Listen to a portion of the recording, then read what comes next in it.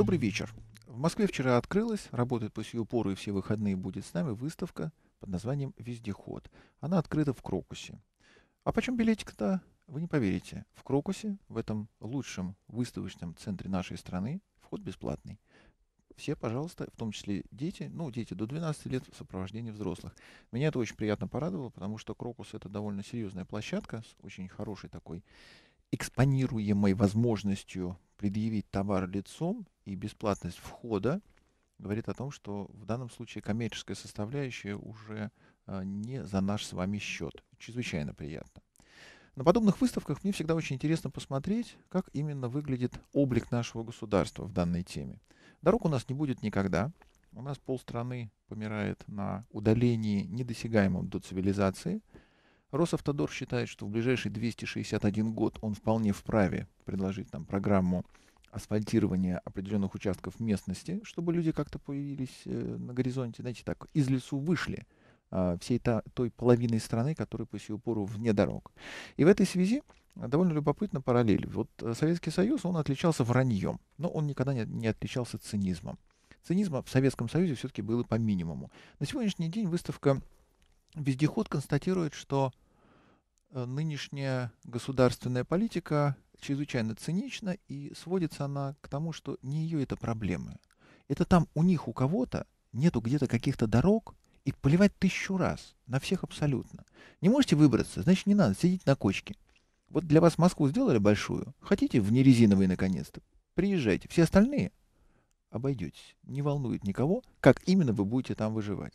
Поэтому практически весь интерес, который был предъявлен там выставочными экспонатами, он частный. Государство отметилось только двумя позициями, такими минимальными. Во-первых, там был ощипанный газ, и это совершенно, конечно, не имеет никакого отношения к тому былому Горьковскому автозаводу, который имел свою очень серьезную внедорожную программу. Ведь вообще-то э, самые грандиозные внедорожники нашей страны — работы Грачева. А Грачев начинал на газе. И вот тот самый ГАЗ-67, ГАЗ-69 уже цивильный, это работа Грачева. На Зиле, когда он пришел туда заниматься спецтехникой, он сделал, например, знаменитую синюю птицу, которая по сию пору у нас рыщет космонавтов по степи. И умеет, кстати, если что, плавать. И вот э, каждый советский завод в обязательном порядке имел необходимость созидания полного привода. Потому что тогда было понятно, что заасфальтировать страну не получится. Поэтому все и АЗЛК работал над полным приводом, и АвтоВАЗ работал над полным приводом, и ГАЗ работал над полным приводом, и ЗАЗ работал над полным приводом. У нас были полноприводные в обязательном порядке абсолютно все. У нас автобусы были полноприводные, грузовики полноприводные, естественно, легковушки. Потому что партия и правительство поручило эту тему разрабатывать. И Горьковский автозавод очень талантливо к ней подступился. У него была масса невероятно интересных разработок. И всякие машины, там 3106, например, которые не закончились ничем. Это была бурная поросль атаманов, каждый из которых остался просто приятным концептом, а в принципе адресован был нам с вами. Вот как раз тем людям, у которых ситуация по жизни среднего бездорожья, иногда переходящего в тяжкое бездорожье.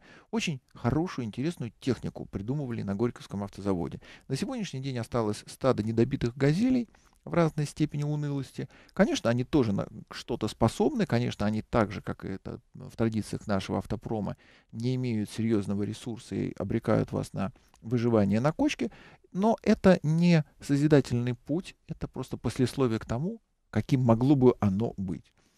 А вот э, интерес нашего государства, он теперь выглядит совершенно максимально коммерциализированным, и от лица этого интереса было очень интересное присутствие, наконец-то, у Немога. Если помните, пару лет тому назад у нас страна вся горела, не так образно, как сейчас это происходит на Украине, достаточно конкретно. У нас были массовые лесные пожары, и выяснилось, что у нас, конечно же, все есть. Естественно, на любой случай, на любой чих у нас есть обязательно инструкция, начальник и ответственный. У нас даже есть пожарная техника. Вот только к очагу возгорания, например, подобраться не на чем. Особенно, когда в лесу происходит вот что называется мгновенное возгорание, условно говоря, из-за из молнии. Есть маленький очаг, его еще можно локализовать, но туда проехать не на чем. Нету техники. И пару лет тому назад как раз возникла вот эта идея, что все-таки немцы делают унимок, раз мы прибили свой ГАЗ-66, а на смену ему ничего не придумали, потому что Садко это все-таки не ГАЗ-66, то, может быть, пора уже делать пожарные машины из унимогов. Но не было ну, э, ни одного ответа на вопрос, доколе, где и когда, и откуда. А вот на сегодняшний день есть, потому что у нас в набережных Челнах существует специальный завод. Этот завод занимается сборкой, отверточной сборкой мерседесовских грузовиков. Он называется Mercedes-Benz Trax Восток. Он на 50% учрежден КАМАЗов, на 50% Даймлером. И теперь уже с 2012 года они вот именно как, когда страна полыхнула, начали привозить к нам машинокомплекты унимогов и делать их под конкретные заказы. Они разворачиваются не торопясь, потому что клиент на подобный заказ это, конечно, госструктура. И, в принципе, это может быть ответом на нашу трагическую беду. Пожар есть, дорог нет, и что в этой ситуации делать, неизвестно. У Немоги эта техника очень интересная, на смену ГАЗ-66 они приходят совершенно адекватно. Вот, по крайней мере, э, пятитысячная серия с грузоподъемностью до 8 тонн. Это нормальный правоприемник нашего газона. И та же самая у него пневмоподкачка всех четырех. И все три блокировки, естественно, портальные мосты, которых у 66-го, ну, мягко говоря, не было. Машина чрезвычайно интересная. Стоит она как самолет. У нее стартовая цена от 185 тысяч евро.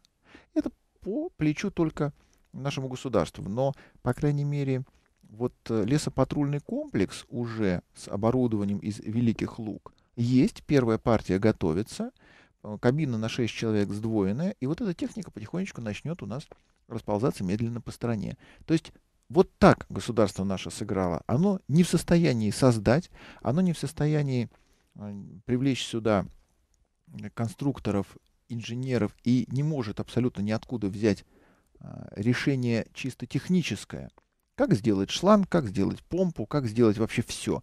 Ну, не может. Ну, вот наша промышленность не на том уровне. Значит, мы покупаем. Мы покупаем в первую очередь шасси, унимоговское, вот э, серии У4000, но это правильное решение. Мы не можем, значит, мы покупаем, потому что гореть-то мы будем всегда. Но дальше все. То есть вот эти два очага локального присутствия государства, они закончились тем, что ощипанный газ стоял в одном углу, и у немоги царствовали в другом. Все остальное это была частная инициатива.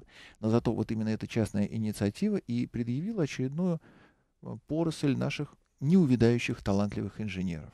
В нашей стране они есть. Если вы помните, в прошлом году с этой выставки я привел к нам на эфир удивительного инженера Говорова, который сделал очень хорошую гусеничную штуковину с изменяемым дорожным просветом. И вот этот самородок Говоров, он не один. Несмотря на все усилия нашей страны и изменения в системе образования и вообще в качестве жизни, мы не смогли перебить, разогнать и уничтожить, и споить всех талантливых людей. Они есть, и один, например, из этих талантливых людей э, предлагает технику, которую он по праву называет бездорожники Таврического. А Таврический — это его такой творческий псевдоним, это инженер, с которым я договорился, что он тоже придет к нам на эфир. И суть его предложения в том, что под абсолютно любой серийный автомобиль он предлагает промежуточную среднюю подкатную ось. Вот то, что те, кто служил в армии, помнят, как было реализовано на БРДМ-2. БРДМ-2, он четырехколесный, но у него в пузе еще четыре специальных таких трака, которые позволяют переваливаться через препятствия. И у бездорожников Таврического они не имеют хода по подвеске, то есть они жестко закреплены, но при этом они имеют привод, например, цепной, а, позволяющий от стандартного э, моста от, от заднего от ведущей оси получить крутящий момент на эту промежуточную ось. И техника имеет возможность возгромоздиться абсолютно на любой пенек или на какое-нибудь там бревно, и имея колесную формулу 6 на 6, его преодолеть. А донором этого решения может быть абсолютно любой автомобиль, начиная прямо таки от совершенно бытовой. А, продолжим после новостей. На выставке «Вездеход» в Крокусе, где вход бесплатный, и завтра-послезавтра можно спокойно прийти туда отметить в мужском антураже несуществующий гендерный праздник 23 февраля. В понедельник, кстати, могу вам напомнить, о чем этот праздник. Так вот, на этой самой выставке есть несколько русских самородков, которые не поленились засучить рукава и свою идею довести до какого-то товарного воплощения. В прошлом году на выставке «Вездеход» был американский полноприводный мотоцикл американский, полноприводный, с колесной формулой 2 на 2. У него переднее колесо ведущее, заднее колесо ведущее. Штука интересная, довольно тяжелая, с определенным запасом прочности, и он, как всякая армейская вещь, такая сильно пригнутая к земле судьбой и возможностью уклоняться от, от обстрела и осколков, а, ползал неплохо, стоил при этом как настоящий. А вот, пожалуйста, уже прошел всего лишь год воплощения этой мечты, но в русском исполнении такой же мотоцикл, который называется Тарусь, его делают в Калуге, у него идея это, воплощение другое. Взяли раму легкую, Взяли вот цепной привод спереди, сзади, поставили моторчик, причем с магнито, поэтому если булькнуть, то возможно, что оно еще как-то более-менее затар... затарахтит по новой и поплывет к другому берегу. Весит эта штуковина 70 килограмм, и в принципе, поскольку легче, чем американец позволяет, даже его как-то более-менее тащить на себе. Например, дружно вы скреблись к другому берегу, высадились на него, а там скалы. Запрыгнул на верхнюю с айгаком, подтянул друга за переднюю такелажную скобу и дальше уже поехал. И одна из инженерных особенностей изделия вот этого мотовездехода Тарусь в том, что до момента применения, то есть до высадки на почвы и грунты и, соответственно, за пределы МКАД, где цивилизации уже нет никакой, его можно вести в двух обычных сумках. Нельзя сказать, что эти сумки чрезвычайно легкие, потому что хошь не хошь, а 70 килограмм по двум сумкам это такая серьезная нагрузка на позвоночник. Но это действительно две сумки, в котором лежит рама, двигатель, отстегнутые колеса с передней вилкой, и на точке применения, на точке высадки это все вместе собирается. Говорить о том, что эта штуковина чрезвычайно прочная, ну, не приходится, поскольку понятно было, что под это компромиссное решение нужно было облегчать конструкцию. Но идея очень любопытная. И самое главное, она не на кульмане, она не на уровне заявки. А мужики засучили рукава, взяли и притворили в жизнь. Вот она, пожалуйста, вот она уже существует. На ней можно покататься, она ездит. Есть, ну, естественно, рекламный ролик, который ну, смотрит, как это весело сделали другие, но товарный образец можно уже потрогать. Причем, ну, у него цена 80 тысяч. Нельзя сказать, что это какая-то неправедная цена. Молодцы люди, они реализовали идею до серьезного, хорошего воплощения. Питерцы появились. Это те самые знаменитые ребята, которые таскают к нам потихонечку пинсгауэры. Машина с красивым, поэтичным названием Штайр Пух Пинсгауэр. Звучит приблизительно как 2,3 диметилбутан. Те, кто не в курсе, как это на самом деле произносится, не произнесут никогда. Штайр-пухи, они бывают разные, трехосные, двухосные. Как правило, они все немножко изможденные службы в армии, хотя, конечно, далеко они не ездили, в Европе, в принципе, ездить далеко не получается.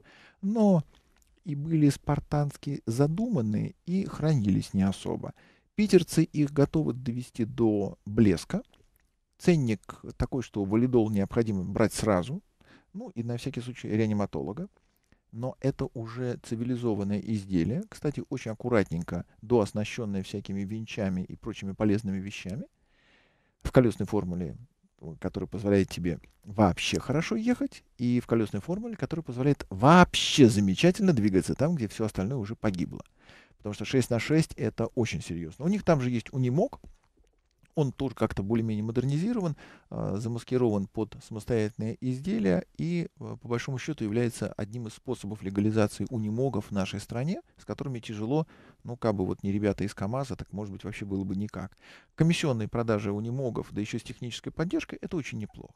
Но Штайрпух Пинсгауэр, который обычно является загадкой, легендой, мало кто на нем ездил, видел и в основном только ограничивался просмотром роликов в интернете, теперь обретает материальную сущность. Вот он, пожалуйста. Приходите, смотрите. Ну, кому надо, покупайте. И, конечно, довели они его до ума в пользу облегчения жизни за рулем этой машины очень серьезно. Машина получилась уже такая, что называется, товарная. Э, Еще одни питерские ребята, то есть они ближе к болотам, они понимают, что такое бездорожье, потому что у нас-то жизнь заканчивается замкадом, а у них иногда даже в черте города. Они очень интересно поступили. Они взяли и добыли целый склад у шведов гусеничных, э, ну, по шведской, наверное, номенклатуре это разведывательно-диверсионная машина, а по нашему представлению о жизни это рыболовецко-охотничья э, гусеничная техника. Она известна под псевдонимом «Лось». Этот лось у себя на родине называется «Хаглунс». И он на простейших моторах, либо бензиновых, либо дизельных, которые едят абсолютно любой мусор, выдаваемый в нашей стране за топливо. Поэтому сам по себе агрегат армейский, придуман для того, чтобы над ним измывались неумехи, ломали как могли, крушили обо что угодно, кормили невыносимо, и при этом ехали, ехали, ехали, ехали. То есть, понимаете, техника идеологически совпадает с э, нашим менталитетом просто великолепно. Именно для нас и делали. Шведы, поскольку они последние, наверное, так, ну, лет 20 век они не воевали, в 21 веке они тоже вряд ли будут воевать. Шведы, если вы помните, они Вторую мировую пересидели, первую, кстати, тоже. И поэтому, когда они делают что-то для своей армии, это такое упражнение ума из серии «А почему бы благородному Дону не посмотреть руканских ковров?» Но техника у них получается шикарная, потому что ведь она имеет колесную формулу 4 на 4. То есть это маленький вездеход с маленьким прицепом, и все четыре гусеницы, то есть две у вездехода и две у прицепа, гребут. И эта штуковина, ко всему прочему, еще плавает. У нее очень мощное вот это сочленение с отбором мощности, такая, такая хитрая раздаточная передаточная коробка, узел, э, который у нас, например, на языке инженеров называется воплощенным в технику двухзвенником. То есть первое звено, второе звено, они соединены мощным узлом, э, содержащим в себе, по-моему, 4 докторские и 12 кандидатских э, диссертаций. И эта штуковина тоже, конечно, с негуманным ценником в 2 миллиона, но вот целый склад тоже есть. И это может найти спрос. И государству это тоже неинтересно, потому что мы подобную технику не делаем. У нас это опять-таки частная инициатива. И частная инициатива предлагает людям для выживания, особенно в тех регионах, в которых ничего подобного нет. Хотя на Дальнем Востоке у нас Ахара и Судзовские, тех же приблизительно лет, но они немножко по другой трансмиссионной схеме сделаны. Примечательно, что к нам приехали белорусы и украинцы, несчастные украинцы, у которых идет вовсю гражданская война, они были очень грустные. Они привезли красивую машину. Это такой жилой дом на полноприводном шасси МАНа. Сделано из комплектующих голландских, э, итальянских, европейских, э, только трудовые порывы, руки и бизнес-идея украинские. И это такой люкс-вариант выживания вне цивилизации, потому что грузовик, конечно, он заведомо более проходим, чем машина там а, под категорию «Б», и там душ, ванна, туалет, кровати, телевизоры, письменные столы, ковры. Здорово, дорого, интересно, но по большому счету не про нас. То есть в расчете на то, что москаль клятый, он настолько андатристый, что придет, конечно, и купит. А вот белорусы, они опять-таки близки мне по духу и пониманию. Ребята засучили рукава и сделали снегоболотоход «Пегас». Это штука, ну, в общем-то, лишенная дизайна. Уродливая, как Сталинградская битва. Ну, кошмарная, как, как Курская дуга. Но ползает, ездит, шины низкого давления, колесная формула 6 на 6 и еще прицеп 4 на 4 и все это активно, и оно еще имеет положительную плавучесть. И сделано, самое главное, из чего? Выйду на улицу, гляну на село. Что тут у нас в Беларуси под ногами валяется? Вот это были обломки МАЗа. Вот это, соответственно, газон 66 сдох. Так, а это что такое? А, это что-то Зиловское. А, отлично. Замечательно. А, вот от Урала еще шестеренка прикатилась. Вот из всего этого оно и сделано. То есть э, техническая идея, как из конструктора под названием бывший Советский Союз с его автопромом собрать новую технику, реализована в товарном образце. Ползает ну, неверо... невероятно, просто ну, чума, где она ползает. Она еще и плывет, у нее еще... То есть после брода в метр, э, 120 миллиметров она просто всплывает. И начинает уже сама туда, к следующему берегу, куда надо выплывать и вывозить. При этом она, конечно, может быть модернизирована и под поставку чего-нибудь такого жизненно важного, ну, там, например, какой-нибудь спаренный пулемет. А можно под что-нибудь э, прозаическое. Кровать, табуретка, стул, э, кондиционер, телевизор, вертикальный взлет, спутниковая навигация, возможность посмотреть Формулу-1 где-нибудь на болотах, отправившись за морожкой. Э, два разных подхода, и опять-таки с белорусами пообщался, сказал, ребят, будете в Москве, заходите, потому что сели и сделали без стонов, без криков, без разговоров о том, что нам никто не помогает, мы никому не нужны. Давайте сделаем. А давайте. Взяли и сделали. И там же, например, э, ходили люди, они ничего не притащили. Это та, та самая знаменитая фирма Ямал, которая делает тоже технику в основном на э, наших шасси. Они берут что-то там от кировца, у них сочлененка очень любопытна. Они иногда берут что-нибудь хитренькое с УАЗиком. И это тоже ОКР полностью наш. Взяли и сделали. Выставка «Вездеход», новости. А еще на этой выставке присутствовали официальные представительства. Это довольно редкая тема, когда вдруг на подобные мероприятия заявляются те, кто у нас что-то более-менее понимает в полном приводе. Не рассчитывайте, что это был какой-нибудь легендарный и всю жизнь созидающий только легенды джип, ничего подобного. У них очень хороший слоган, э, что-то типа там 90 лет делаем легенды. Ну, легенды, может быть, вы и делаете, но только по русскому бездорожью на вашем джипе, слушайте, ну, не смешите мои тапочки. А туда заявилась на выставку э, в Крокус Экспо на вездеход э, три конторы. Первая по праву — это Mitsubishi. Вот тут они абсолютные молодцы. Причем, вы помните, возможно, приходил к нам в гости Николай Мазуренков из Block Motors. И в блоке он как раз занимается тем, что тюнингует автомобили для преодоления бездорожья, выезжает на них на суровые испытания, потом, вот, например, это оборачивается иногда в том числе выставочными образцами. Причем там вот в Крокусе стоит его боевая машина. Два года тому назад мы как раз вот на ней и рубились сквозь буйрак.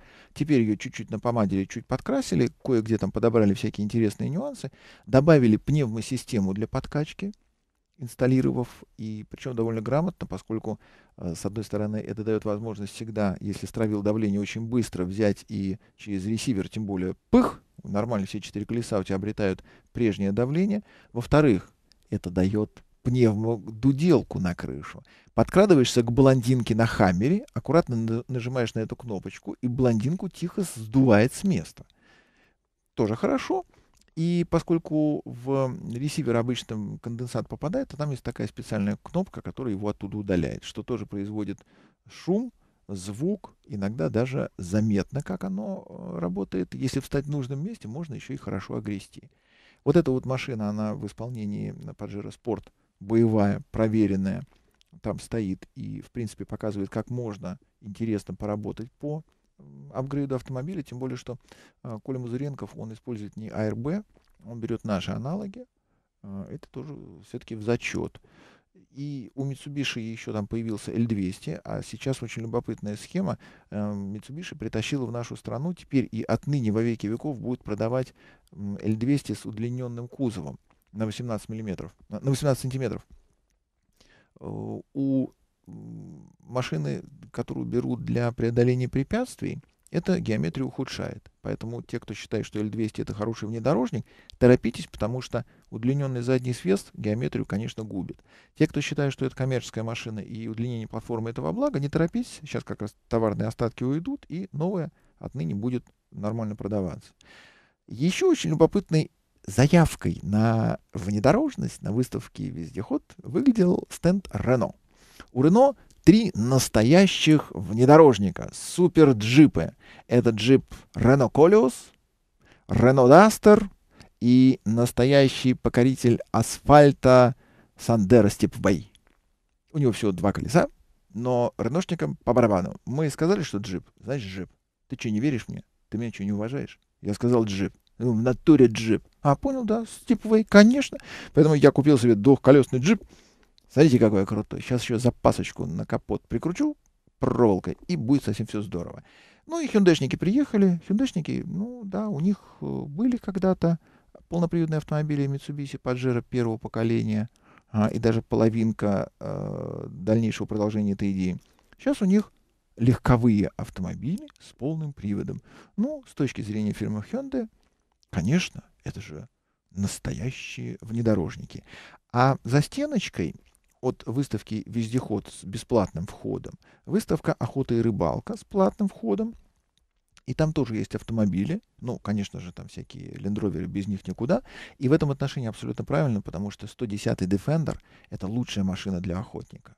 Для настоящего охотника, для человека, который считает необходимым поехать в свои выходные, нормально отдохнуть, кого-нибудь убив, какого-нибудь очень красивого зверя. Это же так здорово. Вот ему полагается, собственно, Defender, потому что э, в деле сохранения живой природы Defender сделал гораздо больше, чем Greenpeace.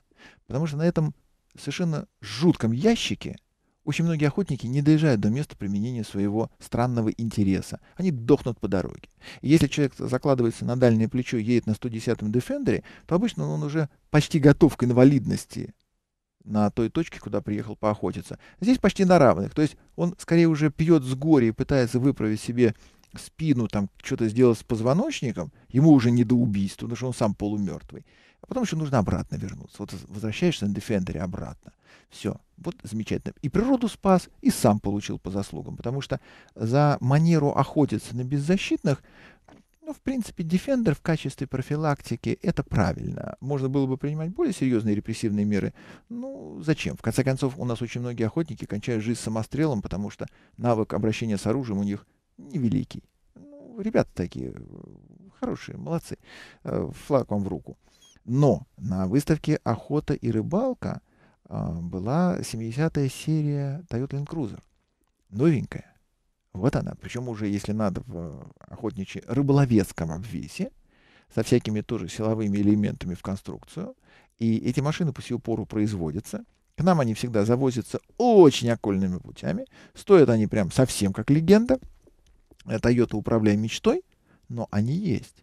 И довольно часто 70-ю серию, тяжелую 70-ю серию, к нам притаскивают в той разновидности, где у нее все, всего лишь две двери и лавки для покойников по всему салону. Причем такие длинные, поэтому покойников можно нога к ногам, голова к голове раскладывать, то есть вдоль салона. А здесь нормальная версия, пятидверка с человеческим салоном, с возможностью там как-то существовать.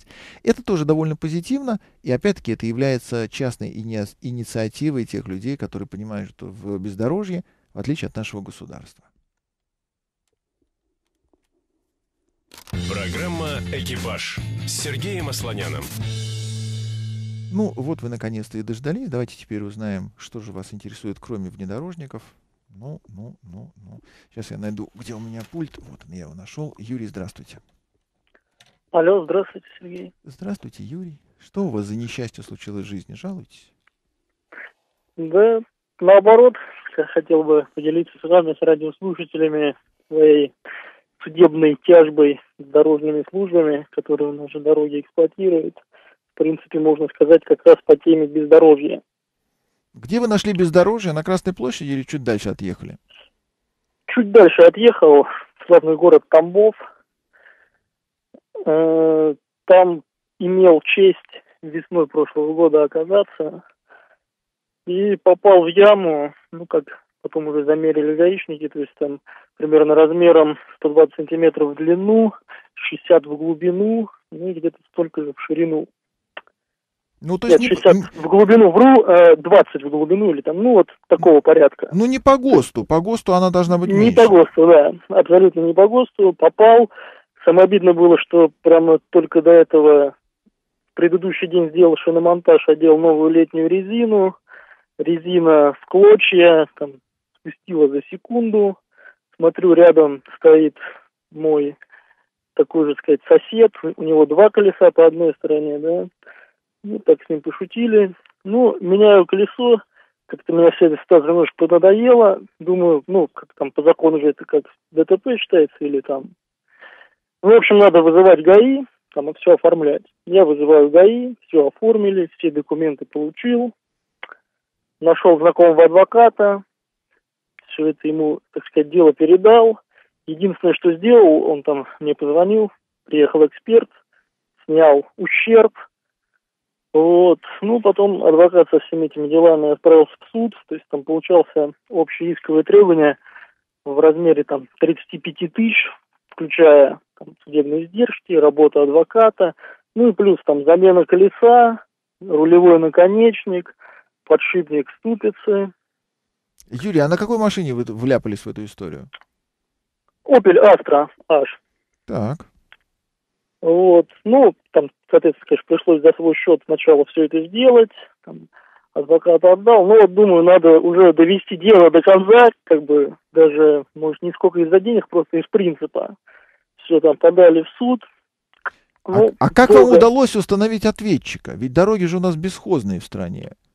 Да, вот это совершенно верно. Этим как бы занимался адвокат, то есть там вот Э, в городе оказалось, что есть, да, на самом деле несколько организаций, которые эксплуатируют дороги. Он в каждую из них сделал запрос э, на, ну, указал участок, на котором было. И все-таки нашел, как ни странно. И все-таки нашел, да. А адвокат был местный, тамбовский или московский? Да, тамбовский. тамбовский Это адвокат. очень правильный ход, так.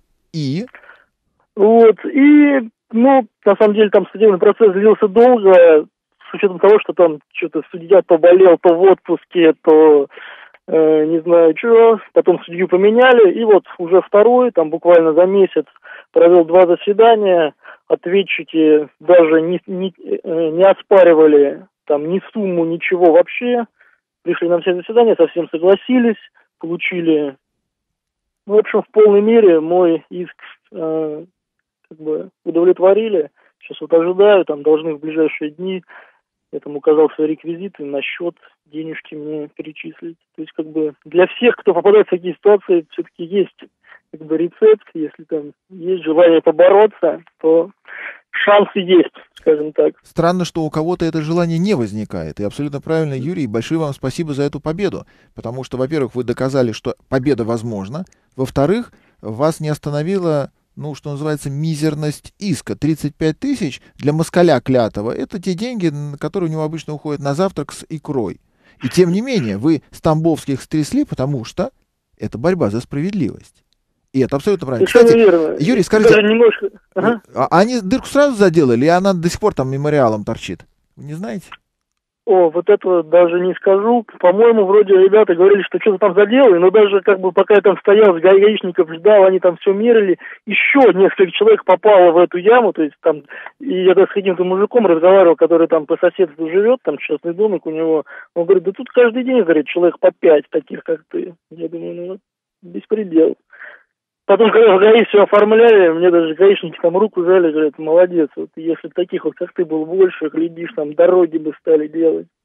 А мы, гаишники, в это самое время стояли возле этой самой дырки, видели, как все остальные гробятся, и вместо того, чтобы по закону о полиции предупредить их, мы ждем, когда приедет из Москвы еще один клятый москаль Юра на Астре Аш и сделает всю нашу работу. Молодцы. Чисто гаишный, чисто государственный подход. С вами согласен целиком. В этом отношении вы абсолютно молодец, э, Юрий. Вам большое спасибо за эту победу. За факт боя и за победу. Алексей, здравствуйте. Здравствуйте. Здравствуйте, Алексей.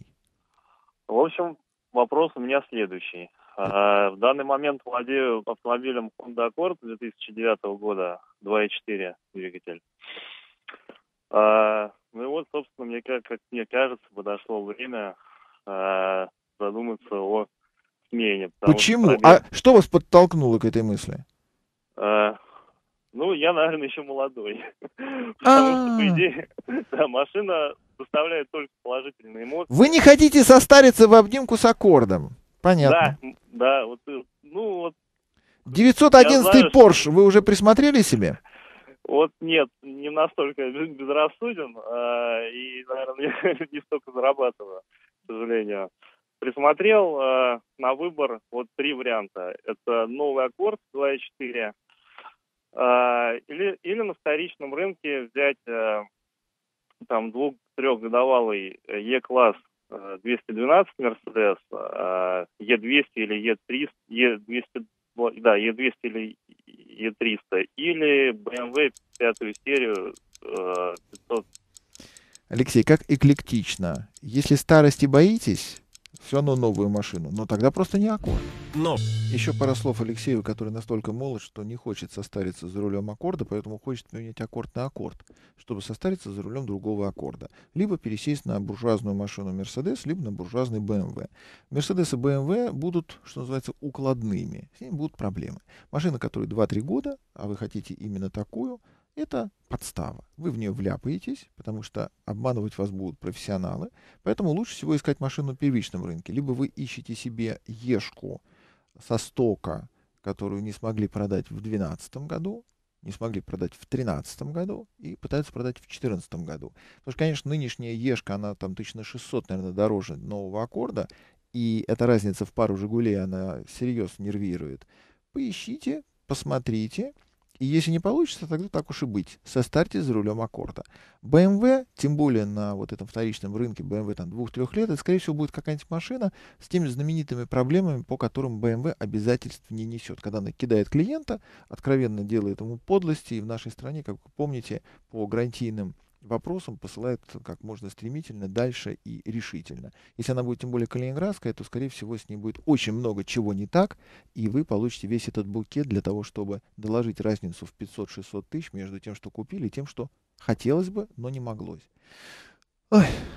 Да, кстати, для тех, кто вдруг не знает, но уже дозвонился, 65 10 996. Владимир, здравствуйте. Э, здравствуйте, Сергей. Огромное спасибо вам за передачу. Спасибо вам хотел бы задать вот такой вам вопрос. Э, подскажите, пожалуйста, мучаюсь э, выбором нового автомобиля, то есть интересует э, Outlander, в принципе, на, что, на чем остановился. Ну, страшная машина с виду, но достаточно функциональная. Это же плюс, а, ее же никто не угонит. Это действительно очень неплохо. Единственное, что я совсем не понимаю, это выбор либо вариатора, либо коробки автомат. Ну, коробка автомат сразу э, минус, что она идет на крупнолитровой. Да, только на 3.0 у вас вариантов нет, да? да а вариатор, ну, соответственно, 2, 2.4. Да. Э, то есть более бюджетно для меня, конечно, двухлитровая машина, но боюсь вариатора. Э, подскажите, действительно, стоит ли бояться или уже технологии все-таки достаточно совершенны, и этот вид трансмиссии, ну, прослужит, по крайней мере, несколько лет. Ну, Владимир, почему работает вариатор, я до сих пор понять не могу. Поскольку я его очень хорошо знаю, многократно видел, собирал, разбирал, я так и не понял, как эта штука работает. Почему он не ломается в первые же три секунды? Для меня это большая загадка. Видимо, что-то волшебное все-таки в нем есть. Но вариатор, если вы собираетесь использовать свой автомобиль только по городу, это просто легковая машина с достаточно крупным ящиком сзади – Тогда, неважно, пусть вариатор. Если немножечко бездорожья, тогда автомат. Ну, в принципе, в принципе, 90% движения – это город. Город, пробки, то есть очень удобно то, что бесступенчатая да. трансмиссия э, плавно передвигается, расход топлива тоже более-менее э, хороший, то есть 10-11 литров в среднем. Вот видите, э, какой вы оптимист. Знакомые. Вы оптимист, потому что э, многие падают в обморок и говорят, как? Я думал, что будет 0,3, 0,7, ну, в крайнем случае 1,2, как мы с пузырем обычно на троих соображаем. А тут 12! Ай, какой кошмар. Я бы лучше столько выпил. Да. Ну, для меня, кажется, это нормальный расход Нормально. топлива. Единственное, вот если все-таки я охотник, но охотник не такой, который залазит в любую грязь, но, в принципе, там километр другой пройти по грязи, ну, тоже приходится. Э, справится ли данная машина, ну, я имею в виду по э, высоте там клиренса, э, своим, э, своей формуле там 4 на 4, или же все-таки в грязь лучше даже в самую незначительную не лезть. Если вы охотник по тарелочкам в Бисерово, то она туда доедет. В том числе. Если вы э, охотник по живому, что сразу тихо портит ваш светлый образ в моих глазах, то для преодоления препятствий автомат, он хоть на что-то способен, а вариатор со всеми своими остальными потрохами, он начнет быстро перегреваться и скажет, что все, спасибо, я приехал. Тогда вы спасете живую природу сами, то есть не попадете ни в кого. Кстати, объясните, Владимир, а в чем прелесть охоты? Вот охоты по-живому. Ну, охота по-живому, в принципе, цель такой убить животного не стоит. Это больше отдых на природе. Ружье это как, ну, палка, на которую ты опираешься. То есть живое убивать, ну, желания большого тоже нет. А приходилось? А, в принципе, да, на утиной охоте было. А вы в курсе, что этот вид животных парами живет. Если вы убили одного, то второй овдовел. Да, естественно. То есть это под присмотром егеря было, поэтому надеюсь, что я большого урона не нанес природе. Нет, почему? Если вы попали, вы нанесли. Причем непоправимый. Ну, это было все равно именно в разрешенное время для охоты и только теми средствами, которые также были разрешены. А вы не, не пытались, Владимир, съездить, например, поохотиться на более знатную дичь, на ичкерийского волка? Честно говоря, нет. У ичкерийского волка, что хорошо, у него э, подствольник есть, и он может вам сдачи дать. Вы на него вылазите со своим, а он вылазит со своим, потому что у него как минимум калаш 7,62 на э, 39, и возможность э, всерьез поохотиться на вас. Вот тут вы на равных, вы по-живому, и он по-живому. Сейчас, правда, ну, там, там охота сейчас в основном такая, знаете, лесная, и довольно много охотничьих угодий переместились чисто географически там в соседний Дагестан, там вот сейчас по Махачкале интересные бывают э, загонные охоты, когда там СОБР приезжает или ФСБ приезжает. Ну и хорошая загонная охота, они обкладывают дичь. Э, дичь, естественно, тоже дает возможность поупражняться обеим сторонам. Ну, там пара БТРов, обычно миновзрывные работы. Вот в таких не хотите принять участие? Там вы будете честным героем, может быть, даже посмертно. Ну, к сожалению, не хочу, или к счастью. Жалко, потому что тут бы вам воздалось при жизни, это очень немаловажно. Андрей, здравствуйте. Алло, добрый день, вернее вечер. А, Сергей, во-первых, как обычно, как и все, наверное, слушатели, хочу вас э, Спасибо. за передачу, действительно очень интересная. Перейдем к делу. Значит, э, вопрос у меня следующего характера. Работаю в такси, э, работаю на Тойоте, на Камри. Ух ты. А, ну, решил поработать на себя и, в общем-то, сейчас подыскиваю вариант а, такого же класса автомобиля. Вот. Но есть э, ряд параметров, которые мне необходимо как бы учесть. Это, во-первых, не ДСГ ни в коем случае. Вот. Э, соответственно, Э, нормальный либо седан D-класса, в лучшем случае, конечно, универсал. А скажите, Андрей, D более прибыльно по вашему опыту? Да, да, более прибыльно, потому что, в общем-то, это немножко другие. Во-первых, э, шире сектора непосредственно, скажем так, клиентов, в общем-то. А клиент гораздо... идет по предварительному заказу, вы его не с тротуара подбираете? Конечно, конечно. Через диспетчерскую, ну, либо через свою клиентуру. Опять же, у меня своя клиентура наработана уже э, достаточно такая, ну, скажем так, респектабельная. В общем, хотелось бы, так сказать, э, не понижать класс автомобиля и, соответственно... Да, вот это вот серьез, и... серьезная проблема на самом деле, потому что Логан да. здесь уже не получится никаким боком. Конечно. Ну, знаете, мне Камри очень понравилась машинка, в общем-то. Единственное, что мне не нравится, вот в последнем кузове, это ее слабое вообще лакокрасочное покрытие крайне безобразно вообще. А, и плюс ко всему еще, э, значит, э, межсервисный интервал всего 10 тысяч. Вот. Ну, это, кстати, разумно, особенно в такси, потому что хотим мы того или нет, но масло, которое живет 15 тысяч, до сих пор не изобрели. Ну, надо, в общем, да. Надо менять э, каждые Согласен. 10 тысяч, даже если вам гарантируют, что это на весь срок службы агрегата. А Камри, вы же помните, где она собирается? Ну, в общем, да. Настоящее санкт-петербургское качество. Поэтому то, что она покрашена, да. скажите спасибо, что она просто не как кастрюля до вас дошла. А выбор ну, у вас ну, между чем и чем? Простите, что перебиваю. Ну, я, я смотрел вообще Тиану. Вот, э, ну, такая, скажем, не простенькая комплектация, чуть получше, там желательно с кожей, с рожей. Коробка летом далее. подведет. Они убрали оттуда контур, убрали, да. убрали радиатор, и поэтому э, она у вас как только на улице будет жарко, она тут же перегреется, у вас э, накроется медным тазом вариатор. Понятненько. И, в общем-то, очень мне нравится Суперб, но, к сожалению, ДСГ и турбина, в общем-то, как-то они уже сразу мне... Либо механика. Ну, механика, ну а турбина... Турбина, в общем-то, не живучая. Там, турбина там не то чтобы совсем не живучая. Вот ДСГ не живучая на 100%, а турбина 50 на 50. Угу. По 150 тысяч э, турбина у них выхаживает. Ну, либо Форт Мандео. До понедельника.